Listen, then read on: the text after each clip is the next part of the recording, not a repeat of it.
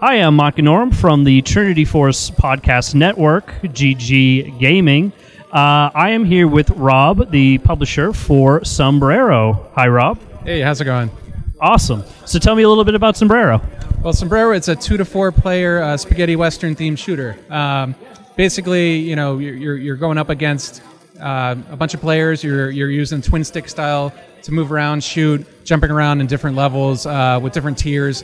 Um, it's uh, actually developed by uh, a developer named Nick Roblek. He's out of uh, New York, and his company's Pixel Metal. And pretty much he put the whole thing together himself, other than the soundtrack. So he's been working on it while he can, uh, when he could, for the past two or three years. And uh, we had seen him at the shows. We liked the game. We got talking to him, and as a, you know, my company Alliance Digital Media, we're a publisher, and we're like, hey, what do you need to get to the finish line? And so basically, he's like, you know, QA support, marketing, some financial support, so he can focus on the game and get it out there. So that's where we came up with a deal, and we, we've been kind of pushing to do that to you know bring more indies into our company and, and partner up with them, just to get uh, you know a good uh, have a good stamp in that in that community, and because uh, we're all gamers at my company and we love we love indie games, so that's why we're here. We're showing off Sombrero. Uh, Nick Nick couldn't be here today, so I'm I'm here to you know talk about his game and get people playing, and hopefully they they have a great time. So, as a publisher, tell me what you look for in a game like Sombrero when you bring them on. Well, you know, it has to do with, uh, you know, first and foremost, is it fun? Does it, does it, you know, the people we work with, does it attract their attention? Is there something special about it? Um, you know, there are a bunch of different factors. Is the art style appealing?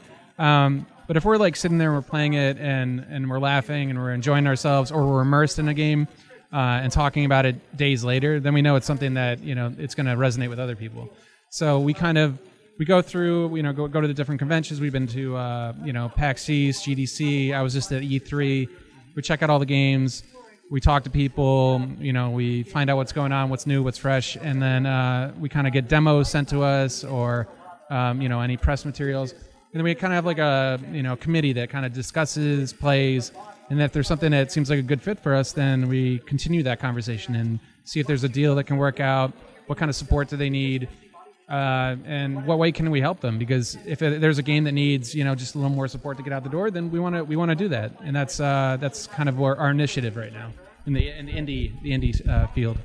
Cool. Now, what specifically attracted you guys to Sombrero? Oh, it's just, it's fun. it's straight up fun. I mean, it's a it's a two to four player multiplayer game. Uh, harking back to you know the days of sitting on a couch playing GoldenEye, but this is more of a 2D plane.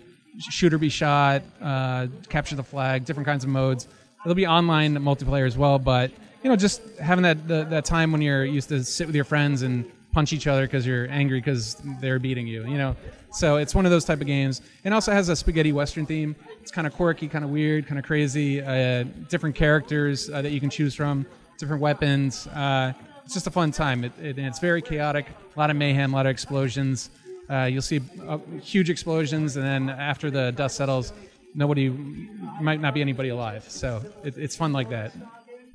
Cool. Now, uh, being a publisher and seeing a lot of different games, can you maybe tell like a good story about a game that you played that wasn't so good, without throwing any shade or naming any specifics? Yeah. Uh,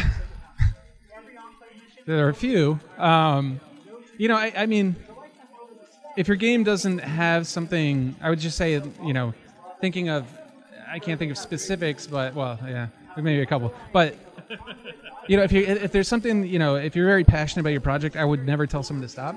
But I would say still send it to us because we do get feedback, even if it's not something that we're going to pursue.